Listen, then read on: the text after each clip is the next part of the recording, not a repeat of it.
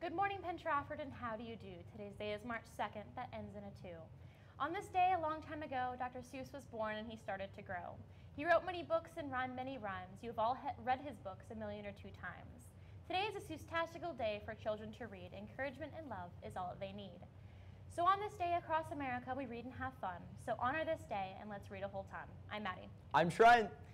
Read Across America Day is a nationwide reading celebration that takes place annually on March 2nd, Dr. Seuss's birthday. Across the country, thousands of schools, libraries, and community centers participate by bringing together kids, teens, and books. Birthdays for today are Matthew Zitkovich and Mrs. Busey, and over the weekend, Daniel Cranston, Olivia Wentrouble, and Madison Coburn. Attention video students, due to the delay, we will not be going to the elementary schools for Read Across America today. We will try to reschedule. We have a few room changes to report to you today. The, fo the following social studies, English, and health rooms have been moved. Ms. Martini moves from 115 to 130, Mr. Lin from 210 to, 2, to 132, Mrs. Nabuda from 106 to 131, Mrs. Smith goes from 143 to 133, Mr. Davis from 144 to 134, Mrs. Arzenti and Coop from 149 to 115, Mr. Krovac from 148 to 143, Mr. Warziniak slash Palmer slash Cornelius room from the uh, move from the computer lab in 150 to the temporary lab in 235, Mrs. Thornton from 107 to D10, Mrs. Birch from 235 to 210. CAP projects for this week are on Wednesday, March 4th is the Harrison City Women's Club project, start time 4 p.m. Saturday, March 7th is the Pet Friends from 11 a.m. to 2 p.m. And Sunday, March 8th is the second Sunday supper. If you missed the deadline to register for the March SAT being given at Penn Trafford, you can still register at collegeboard.org through tomorrow. There will be an additional late fee. Congratulations to the architecture design team for earning first place in, in the competition on Friday. Students from this team have been preparing a model for an empty parking lot in Lawrenceville since October. Students on the team include Sarah Bender, Sabrina Catalano, Eden Elma, Maura McElhaney, and Josh Verhan. Please stop by Mrs. Wookich room uh, 229 to see the finished model.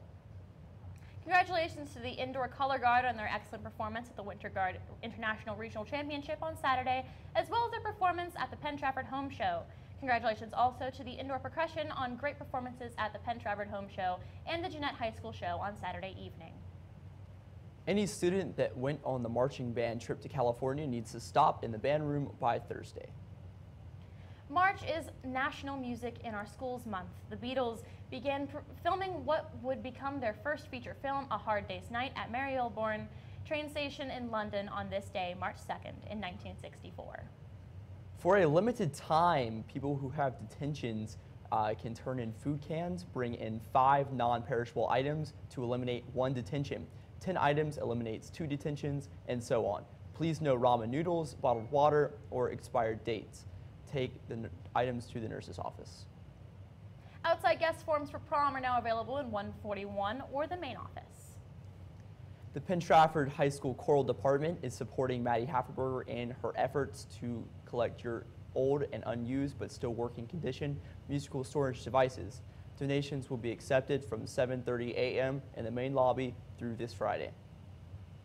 The Learn to Ski and Snowboard event at Boyce Park has been rescheduled from tomorrow to Tuesday, March 10th due to the weather. See Senora Birch in room 210 to sign up. The PT Ski Club is also taking another trip to Seven Springs this Friday, March 6th. Sign up in room 210. Don't miss out. Boys volleyball tryouts begin today after school from 3 to 5. Players need to have physicals in order to participate. If you have not signed up previously, see Mr. Shaw today. Softball tryouts will be held this week starting tonight at 7 at the in the high school gym, Tuesday at All-American from 3 to 5 with a one-way shuttle bus available, and on Wednesday from 5 to 7 at the high school gym. Anyone that signed up for track and field mandatory practice will begin today. You do not need to work workout clothes for the first day. Report to the auxiliary gym at 245. Sports, congratulations to the Warrior Ice Hockey team as they defeated State College by a score of 9 to 5 on Friday night. Thanks to anyone who came out and supported their, their team on senior night. The Penguins have won four games in a row after, after a 5 to 3 win last night against Columbus. They will play Wednesday at Colorado. Today is the NHL trade deadline, which means that it is the last possible day for hockey teams to make it to make a trade until July. Congratulations to the girls swimming relay team who head to the state meet at, as the 11th seed. The members of the team include Audrey Reagan, Devin Davenport, Emily Graziano, and Emma Winchell. Congratulations to Cam Coy, Matt McGillick, and Job Chisco, who will go to the Hershey State Championship Wrestling Tournament later this month. The weather forecast for today, it is currently 23 degrees and snowy. The high for today is 31 with a 60% chance of snow later today. Lunch menu for today is popcorn chicken with a roll, baked tater tots, and corn. Thanks for watching Wake Up Warriors. Please send to pledge the flag. I'm Maddie. And I'm Trent. Happy Read Across America Day, Penn Trafford.